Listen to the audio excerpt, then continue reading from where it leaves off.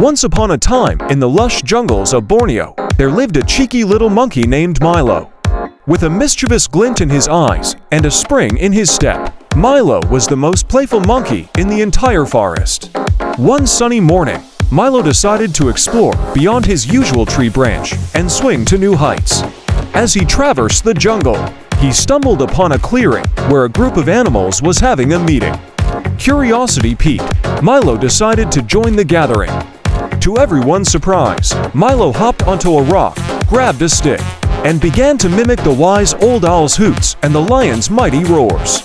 The other animals exchanged puzzled glances, unsure of what to make of this cheeky spectacle.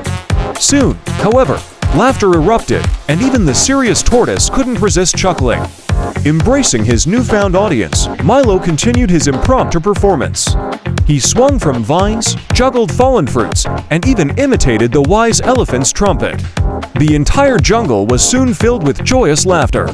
As the day unfolded, Milo's cheeky antics spread throughout the jungle, turning his spontaneous performance into a legendary event. Animals from all corners came to witness the little monkey's playful showcase, and a sense of unity and joy enveloped the entire community. In the end, Milo's cheekiness had not only entertained, but also brought the diverse jungle inhabitants together.